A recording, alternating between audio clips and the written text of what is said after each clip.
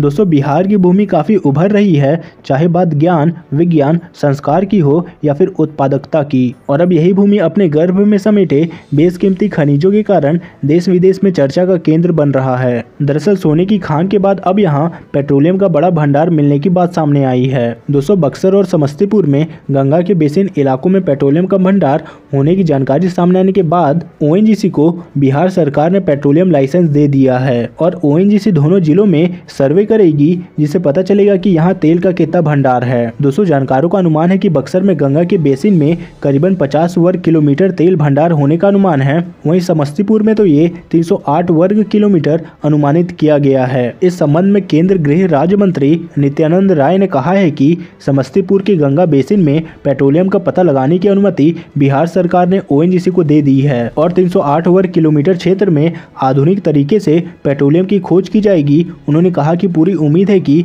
यहाँ तेल का विशाल भंडार ज़मीन में है। और दोस्तों, अगर सर्वे में तेल मिल जाता है तो समस्तीपुर ही नहीं, बल्कि पूरे बिहार की सूरत बदल जाएगी। दोस्तों ओएनजीसी का अनुमान है कि दोनों जगहों पर तेल का बड़ा भंडार हो सकता है, और इसी को लेकर ही ओएनजीसी ने पिछले दिनों बिहार के खान एवं भू तत्व विभाग से लाइसेंस का आवेदन दिया था। और दोस्तों, आपको बता दें कि ओएनजीसी को लाइसेंस मिल गया है और अब वो सर्वे कर रहा है। तो दोस्तों, देर ही सही, लेकिन बिहार में खजाना मिल ही गया। और इस खजाने से बिहार का फ़ायदा तो होगा ही, लेकिन ओएनजीसी कंपनी को भी फ़ायदा होगा। हालाँकि दोस्तों, आप अपनी राय कमेंट बॉक्स में कमेंट करके ज़रूर बताएँ। तो दोस्तों, इस वीडियो में फ़िलहाल इतना ही। मिलते हैं नेक्स्ट वीडियो में।